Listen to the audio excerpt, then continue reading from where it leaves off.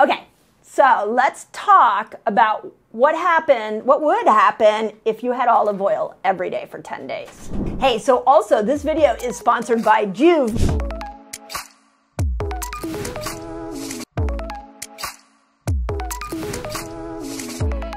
My favorite red light, and let me tell you, there are many reasons why I use Joovv, but one of them is because it has an anti-inflammatory effect on our cells.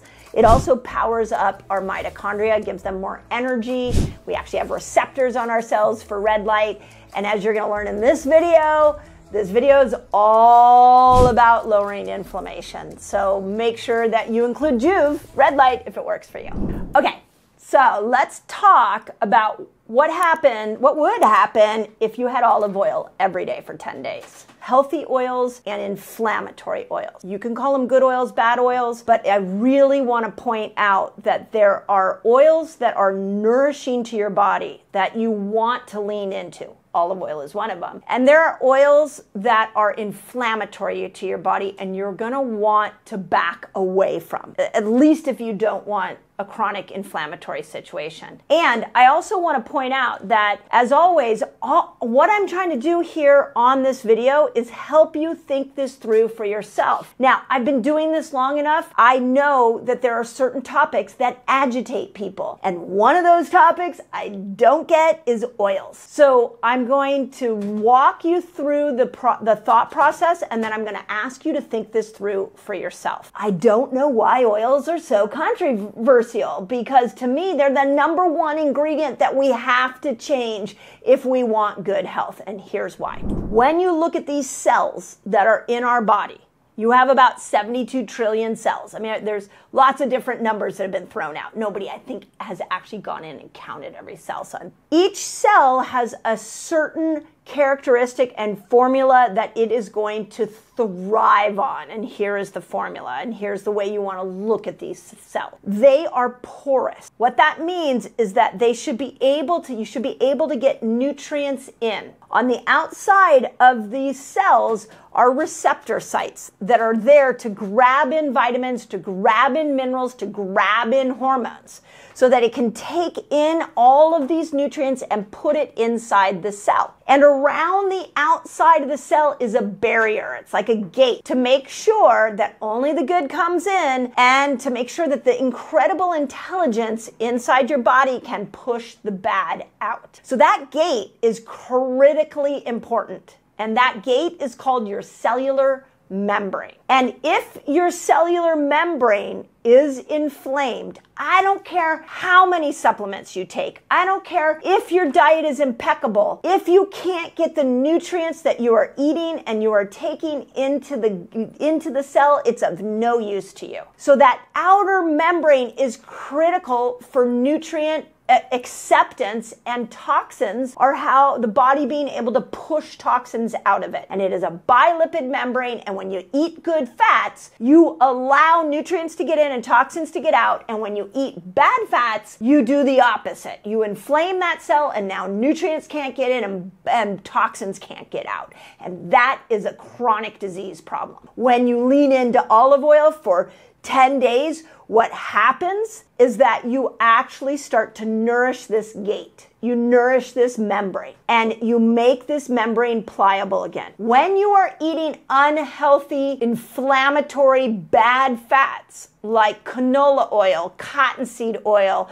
corn oil, vegetable oil, man made oils, you make that gate very, very rigid. When you eat olive oil, when you eat avocado oil, MCT oil, and you really focus on these healthy oils, you make that gate porous again. And everything you're trying to do with your health dep- depends on that outer gate of these cells. So when we start to eat olive oil every single day for 10 days, we are bringing back cellular health. Now, there's a couple things, I'm going to explain why here in a moment, but there's a couple things I want you to know about olive oil that's very unique to olive oil. If you decide to heat olive oil up too high, it becomes inflammatory. That's a bummer. It's like it took this healthy oil and it turned it into an inflammatory, unhealthy oil. So, a real trick is you don't want to ever let that oil smoke. So you know when you like put an oil on a pan and all of a sudden it heats up and there's some smoke coming off of it? If that was your olive oil that you put on the pan, then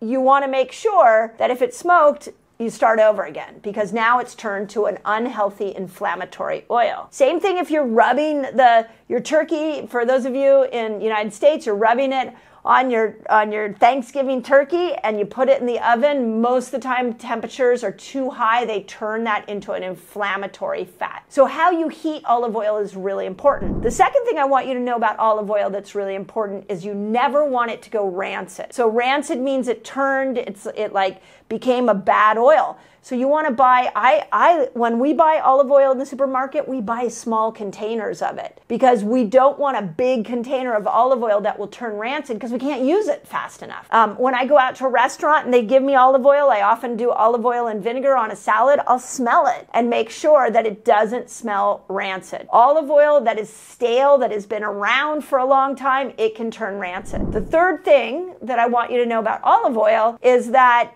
the bottle it's in matters. So you want it in glass and you want it in a dark container. If it was in a clear container and sunlight came into it, it could turn it bad. It can make it rancid. But if you put it in a, like you'll see a lot of olive oil companies have figured this out. They have a dark green or a dark brown glass. And so when you use olive oil uh, or have it contained like that, just make sure you keep it away from sunlight so that it doesn't go rancid as quickly. And the fresher the oil, the more organic the oil, olive oil, the better. So if you've ever had amazing olive oil, you know what I'm talking about. So we want it in this high quality. So with that, those being the premises here, why would you eat it every day for 10 days? Well, the first is it's anti-inflammatory. So don't we want to bring down inflammation? Isn't that like the root of all chronic disease is inflammation?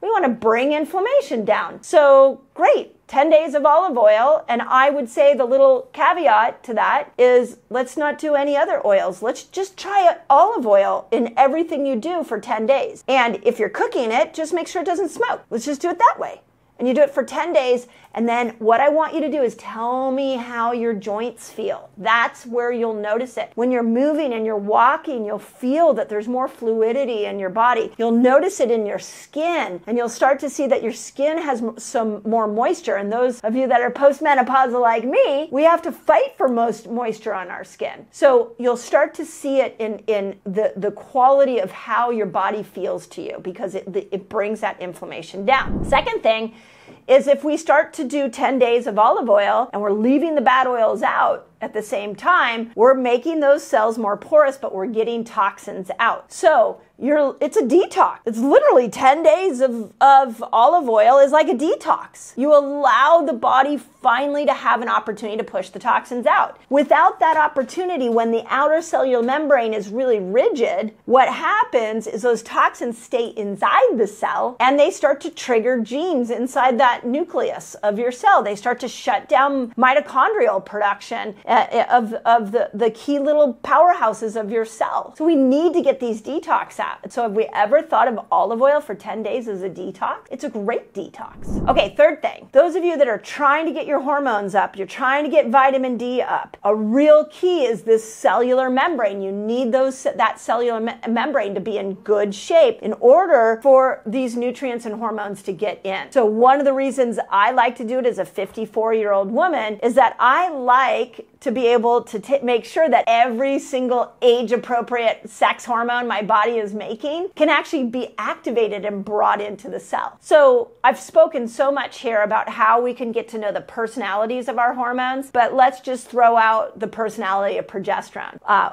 after 35, progesterone starts going down. If that's new to you, get the menopause reset, get fast like a girl. I explain it all in there. But as progesterone goes down, what happens to you is anxiety can go up, your inability to calm can go up, uh, your uh, sleep can go off, some muscular skeletal injuries can appear. And so do this 10 day test, and then you tell me how those symptoms are. Okay, check this out. I have a free fasting guide for you all. It's free and it's going to teach you all the basics of fasting. It's going to teach you how to kill hunger when you fast, which is really cool. And it's going to show you how to break your fast, among many other things. All you got to do is click on this link right here and enjoy. Is it possible that you don't need more of an exogenous hormone that you're finding in your bioidentical or your HRT, but you actually need your cells to be able to receive that hormone to be able to activate it? And those of you that are on bioidenticals or HRT, I really encourage you to get this cell- cellular membrane health right so that you can maximize what you're already putting in. So I hope you got that big concept. This is really, really important because the outside of our cells have so much wisdom. They control their gatekeepers for what's going into the cell. So, really, really important that we are able to make sure all the goodness can get in. And something as simple as eating olive oil every day for 10 days can really help. Now, I know what a lot of you are going to ask me. Well, is that all I do for every day for 10 days? You could you could do an olive oil fast if you want. Not that's not what I was thinking. I was thinking that you would do along with healthy eating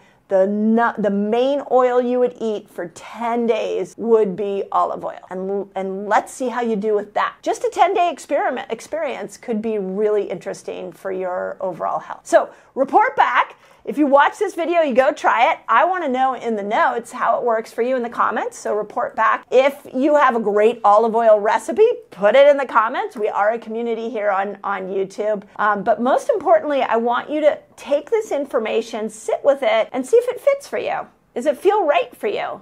And the only way you know is you can listen to this and you might go, yeah, really, really interesting. I'm not so sure. Well, test it. Test it. That's I'm here to help you think through what's right for you, not to tell you to, to live your life exactly like me. I'm just bringing you information that I'm hoping you'll apply. Some of it's going to work, some of it may not be up your alley. Either way, I want you thinking through health for you. I don't want you falling prey to advertising, to uh, financial agendas that other people have. I want you to do health your way. As always, I hope that helps. Okay, you trying to maximize your weight loss? Apple cider vinegar may be the key. Go check out this video where I show you exactly when, how, and why you want to use it for weight loss. Apple cider vinegar changes your microbiome of your gut. This good bacteria is going to help to bring your blood sugar down and make it so that you can switch over into the fat burning state